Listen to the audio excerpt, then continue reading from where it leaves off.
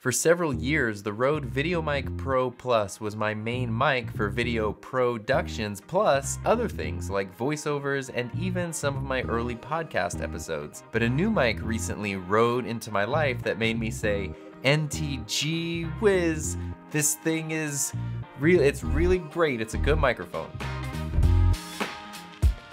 Pretty much anytime you see an angle like this from me where the microphone is not in the frame, I am using a video mic. And like I just said, for quite a long time, that was the VideoMic Pro Plus, which is an outstanding video microphone that costs about $300. And while this video is not sponsored, about six months ago, Rode did send me the VideoMic NTG for free just because they were being nice. They didn't ask me to make a video about it, they didn't pay me for it. And it worked out great because up until then, my wife Heather and I were sharing this microphone when we made our videos. So now she uses this microphone in her office and I use the NTG. So today I wanna cover some of the basic features about the NTG. I definitely wanna do some comparisons with the Pro Plus. And I also want to explain why I prefer and recommend the NTG over the Plus, even though I think technically the Plus is the higher end model. So let's start with some of the basics. And if you know me and the way I review and compare things, I don't usually spend too much time on these super technical specifications because there are plenty of people who do that better than me.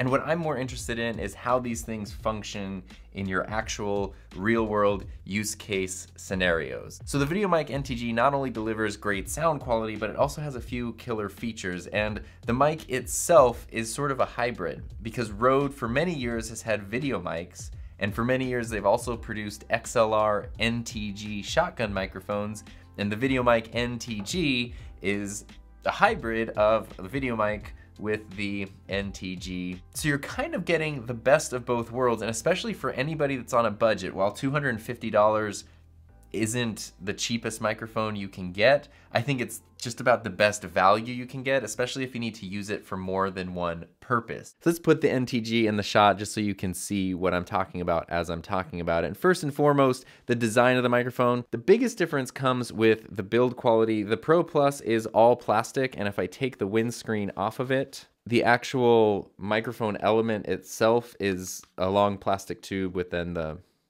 I don't know, the capsule at the end of it. The VideoMic NTG is all metal, it's all aluminum. It feels like a regular shotgun microphone, and in fact, you can just snap it out of the shock mount and then position it or use it in other places if you want to. It has a 3.5 millimeter output. Right next to the power button, there are three little LED lights. One has a negative 20, one has volume bars, and one has a symbol that represents audio clipping levels that are too loud and they're getting clipped off.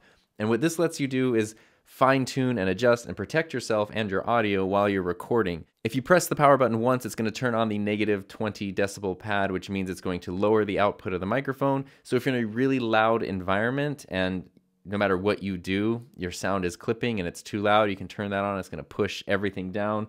The VideoMic Pro Plus has a similar feature. You can press a decibel button on the back and you can go down to negative 10. If you press the power button twice on the NTG, then you turn on the safety channel, which means one channel of the output is going to be just whatever levels you have it set as, but the other channel is going to be 20 decibels lower and it's going to do both at the same time.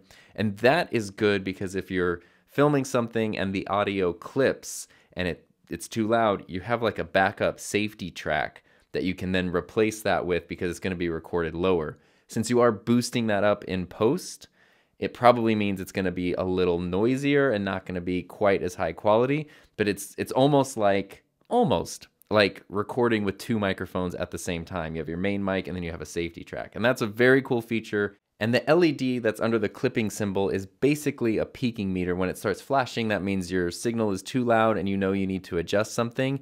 And that's cool feedback that other Rode microphones, other video mics in the past just haven't had.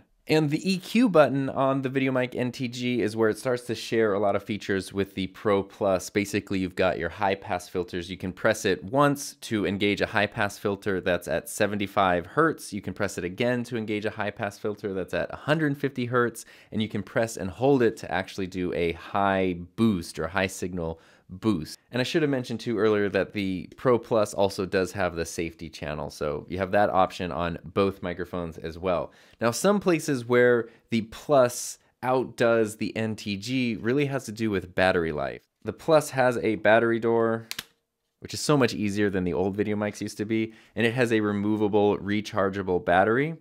And you can also put in AA batteries right in here, which is great because that that's safety, right? You have the safety channel, but you also have safety power, so you'll pretty much never run out of battery power, and you battery believe that that's a powerful feature. And actually, I mean, if you think about it, charging this doesn't take very long. The battery itself lasts a really long time. It lasts like 100 hours is what it's rated for. You could, in theory, have a few of these batteries, so that way if you're doing a long shoot day or you're doing a lot of traveling, you don't even need to charge it. You're going to have more than enough power.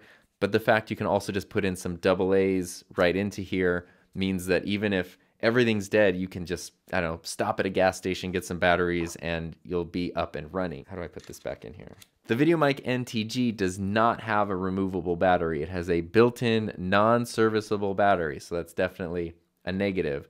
Its battery also is only rated for 30 hours instead of 100 hours, so it's not nearly as long lasting as the Pro Plus. I use the mic several hours a week, and I usually charge it about once a month. So it's not an issue. I mean, 30 hours is still a lot of hours. Both of these microphones have removable audio cables, which is great. Again, the older, older video mics had built-in cables, so if something happened to it, the whole microphone would need to be sent in for repair or wouldn't work anymore. This one, the Pro Plus, was also the first video mic that had an auto power on and off feature, which was amazing because the older ones, again, you had to remember to turn the mic on or turn the mic off.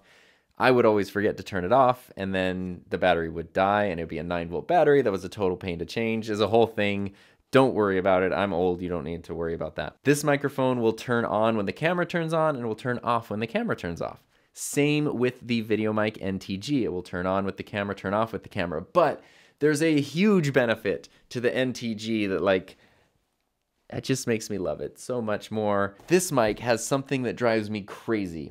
When you charge it, you plug it in with a micro USB charger. There's a little blue light on the back of it. When the blue light stays constantly on, that means the microphone is charged, and then you unplug it. When you unplug the Pro Plus from the charger, it's just on. It doesn't turn off. So what I've done on more than one occasion is charge up the microphone, see it's fully charged, unplug it, put it in my camera bag, and then a day or two later or more, when I go to use it thinking I got this fully charged microphone, it's actually dead because it was just on the whole time and it ran out of battery.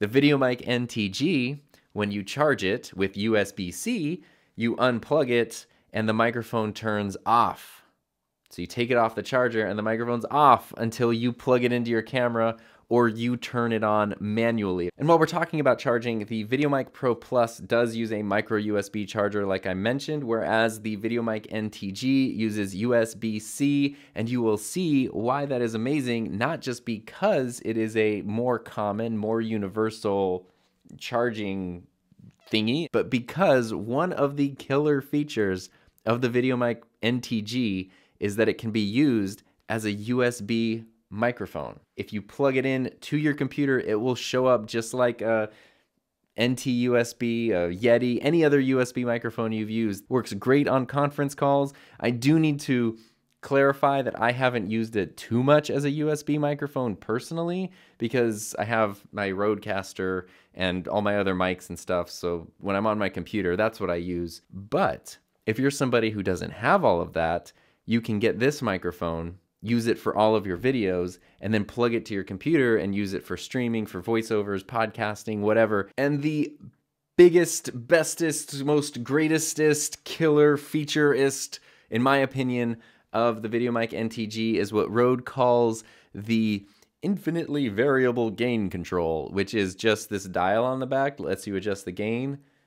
Total game changer, or gain changer, if you will. It makes things so much easier. I've done a few videos, if you saw like my sound treatment video or my Zoom teaching setup video, I filmed both of those with the NTG. And when I was filming those videos, for part of it, you know, I would be in front of the camera like normal, and so the microphone was pointing at me and I was talking to it and I had the level set. But as I was kind of giving a tour of my setup, I just turned the microphone around so when I had the camera pointed away from me, the microphone was facing toward me, and I could just point and talk about what what I was showing. but because it made me so much closer to the microphone, the level changed. And since this dial not only exists, but also has numbered markers on it, I quickly knew like, okay, when I'm in front of the microphone, I need it at 11 because it should go to 11. When I'm behind the camera, that means I should turn it to 8. And as the whole day, just quickly switching the microphone back and forth, I knew switch it forward, turn it to 11, switch it back, turn it to 8. And it kept the levels consistent and it sounded so good. If you watch those videos and it looks like there's a voiceover with B-roll clips, there is no actual voiceover. It is just me with the microphone pointed towards me on the camera, like talking as I'm filming. And the first camera, the main camera, is my EOS R, which is actually in a small rig cage. It has a little monitor attached to it.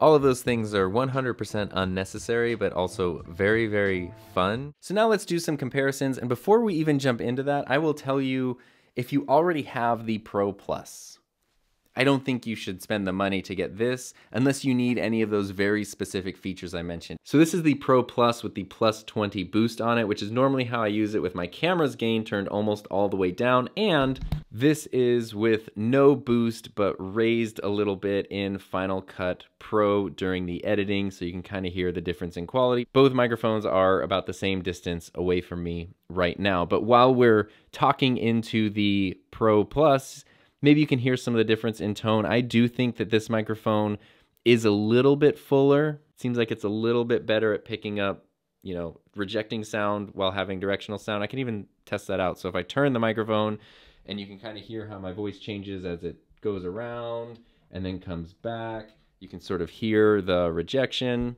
Switching back to the NTG, uh, maybe you can hear a difference in quality. If I go to the side of the microphone, you can hear how it's rejecting. If I go behind the microphone, if I go back over here to the other side, you can sort of hear the pickup pattern. I'm gonna switch back to the Pro Plus so I can show you some features on the NTG. So when you get the microphone, it comes with a cable that's kind of flat, which is great because depending on where you're running it, you can run it through this mount and it has these little clips and you can just clip the cable right in there and then run it into your camera, and it's got sort of a built-in cable management system. But a couple other big benefits. If you've used a video mic before and you've put it on your camera, you might know that then if you go to use your viewfinder, it sometimes bumps you right in the head. If it's the microphone's too far and it's getting into the frame of your shot, you can move it backwards. If it's bumping you in the head, you can move it forward. So that way it's positioned exactly where you want it depending on your camera and your mount where it's not going to get in the way. Also, this mount that comes with it lets you do something else which is really cool. And I am so sorry. Somebody gave me this idea in like the comments or a live stream and I know it's somebody who I talk to a lot in the comments of my channel, but I don't remember who. So if you're the one that gave me this idea, I am taking it from you and I'm grateful to you and I'm sorry that I forgot that that came from you. But it involves the Rode Wireless Go. Because the hot shoe needs to slide back and forth to let you adjust it, there's like this rail in here. So if you have the NTG and you have the Wireless Go, you can actually slide the transmitter into the mount, connect it to the microphone, and now you have a wireless shotgun microphone. And then you could put this on a boom arm. You can put it, you know, at the other end of a room or something. You can even get, you know, a little handle like this or a little tripod like that. And now you have a wireless handheld microphone, which is also your camera's shotgun microphone, which is also a USB microphone. Here, let's go back to the NTG. Very quickly, I would like to point out that if you're wondering how I'm connecting these microphones to the little tripod here or this little handle, which is just a little recorder handle from Zoom, the microphones themselves have 3 8 inch mounts on the bottom. And so I'm using a little 3 8 to quarter 20 adapter so that they will fit on all of these things here. So at this point, I hope you can see why I'm so excited about the VideoMic NTG. Like I said, I really love the Pro Plus. In terms of battery and power, it does offer some edge over the NTG, but pretty much in every other way, including the fact that the NTG is smaller and more compact, at least a little bit, I have no idea why you would get the Plus over the NTG. If you want to know more about microphones and audio and getting good audio for your videos because audio is half a video, check out these videos right here.